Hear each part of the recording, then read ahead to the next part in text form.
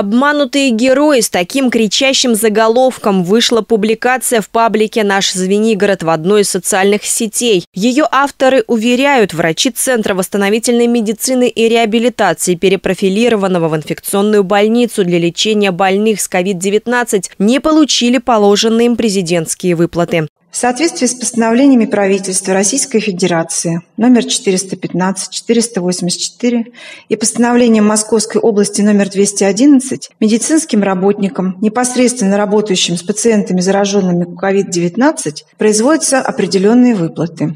Выплаты производятся согласно фактически отработанному времени медицинского работника за предшествующий период. В нашем учреждении срок выплаты заработной платы согласно положению по оплате труда 10 числа ежемесячно. В связи с перепрофилированием учреждения в кратчайшие сроки, переводом сотрудников и приемом новых сотрудников, в данный момент времени проводится сверка каждого работника по начислению заработной платы. Все причитающиеся выплаты будут произведены каждому работнику в полном объеме. Порядок начисления выплат был разъяснен каждому сотруднику медучреждения в индивидуальном порядке. Общее собрание невозможно из-за особенностей их условий работы.